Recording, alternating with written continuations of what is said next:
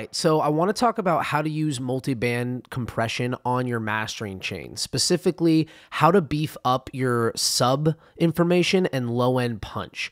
Now, a lot of times in tracks, I find that when I'm referencing uh, low end, the low end in another song is a lot more powerful and a lot more present and just kind of constant in the sub frequencies compared to my track. And one really easy fix for that is to use a multiband compressor and compress the low end sub frequencies to get them to settle and stay full for longer periods of time. So I'm going to go ahead and use the iZotope um, Ozone 8 uh, multiband dynamics plugin for this. Um, but let's first just listen to my um, remix here, my song, and then the reference that we're going to uh, be comparing to.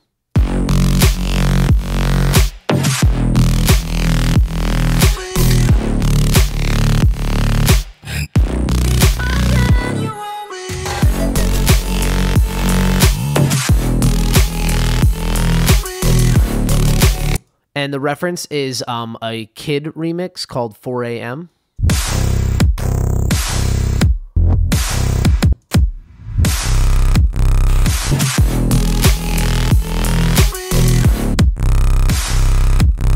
So already they're both pretty similar. It's a great reference. Um, but I can definitely tell that in the other remix, um, there's a lot more of a nice presence for that kick drum in the low end, and the bass just kind of they just kind of feel a little bit tighter and a little bit um, smoother in the sub frequencies. So we're gonna go ahead and grab an Ozone Eight uh, Dynamics and place it on our track. Now, the first thing you have to keep in mind when you use like an ozone uh, dynamics is that it automatically has the compressor ratio set to two to one for all the bands. Now, I'm definitely not going to be compressing these upper bands, so you just want to make sure to go and turn this ratio back to one to one. That way, you're not actually um, compressing. You can also turn those bands off, but I just like to keep it one to one in case I do want to compress. Now, the first band we're going to look at is the sub band. So I like to go ahead and solo this band here. And what I'm searching for is the sub and the kick punch and really nothing else. So you're going to want to move this around until you find that sweet spot.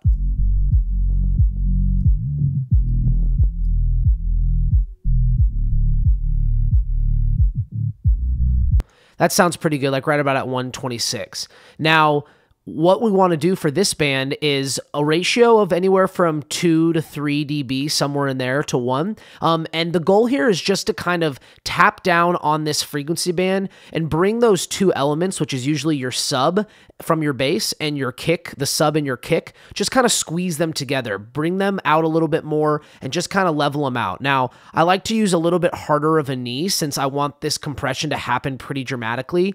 And usually, the longer of an attack you set, um, if you happen to hear distortion, if you increase this attack, it kind of backs off on that distortion, and vice versa. Um, you know, bringing down the release, quicker release, that will also kind of help um, smooth out the compression. So uh, let's just go ahead and kind of play with that.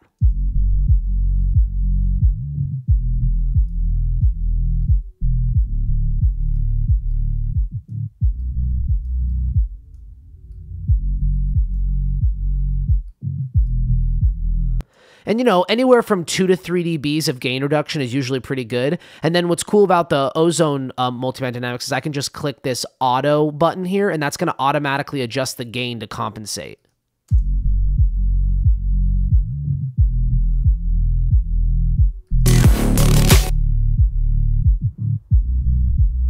And then the next band we're going to look at is this kind of upper punch region, which is going to be uh, just above the sub, all the way until usually around like four to 500 until you get that like kind of low end energy that really provides all the punch. So I'll go ahead and solo that to find that region.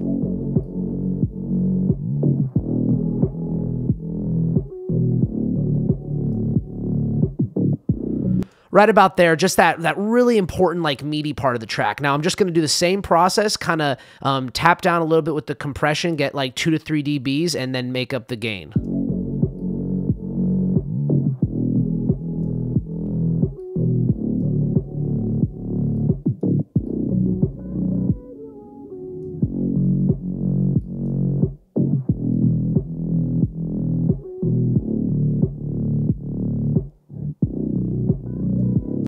So with that being said, now we can kind of hear what these both sound like together.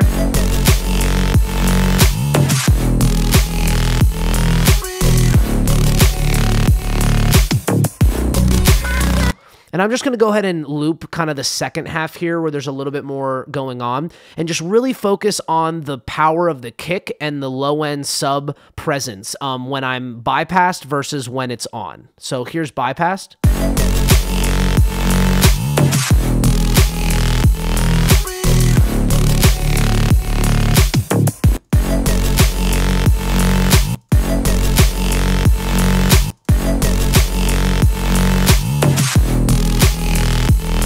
So I'm really hearing kind of like a little bit more life in the low end. It feels like the track is kind of driving a little heavier, and it just kind of feels like there was more time and care put into really making sure that low end is constant and full. Now we can go ahead and reference this to the original, uh, the the other track that we're referencing.